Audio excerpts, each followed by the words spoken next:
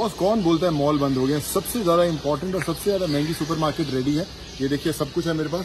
अंडा है जो इस समय छह रुपए का मिल रहा है और उसके बाद ब्रेड है, बड़ी वाली जो चालीस रुपए की है, छोटी वाली ब्रेड बाईस रुपए की है। साथ में पाव है, रस है, मूढ़ी है और बहुत सारी चिप्स वगैरह हैं।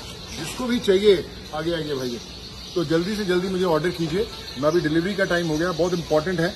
और एक बात और डिलीवरी के एक्स्ट्रा चार्जेस हैं बॉस तो मिलते हैं बॉस सोनू सूद की सुपर मार्केट एकदम हिट बॉस चलते बॉस बॉस कौन बोलता है मॉल बंद हो गया सबसे ज़्यादा इंपॉर्टेंट और सबसे ज़्यादा महँगी सुपरमार्केट रेडी है। ये देखिए, सब कुछ है मेरे पास।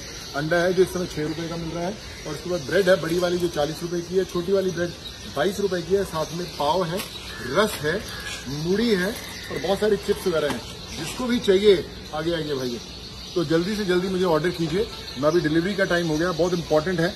और एक बात और डिलीवरी के एक्स्ट्रा चार्जेस हैं बॉस तो मिलते हैं बॉस सोनू सूद की सुपरमार्केट एकदम हिट बॉस चलते बॉस